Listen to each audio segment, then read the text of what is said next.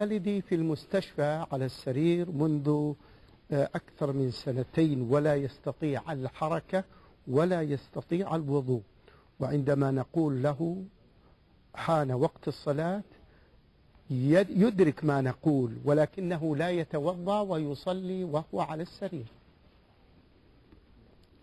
نعم يصلي على حسب حاله. قوله صلى الله عليه وسلم يصلي المريض قائما فإن لم يستطع فقاعدا فإن لم يستطع فعلى جنب فإن لم يستطع فمستلقيا ورجلاه إلى القبلة.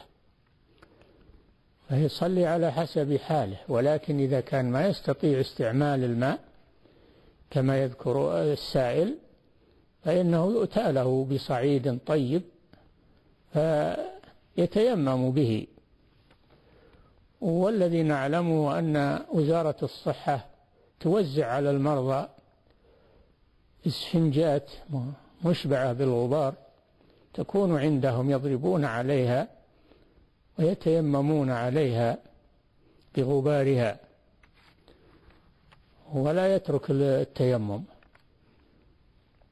وحتى لو لم يستطع أن يتيمم هو فإنه يأتي من ييممه من يضرب بيديه على على هذه الإسفنجة وهذا الغبار الطاهر ثم يمسح وجهه ويمسح كفيه.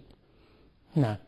له فقرة أخرى يقول الحمد لله أنا من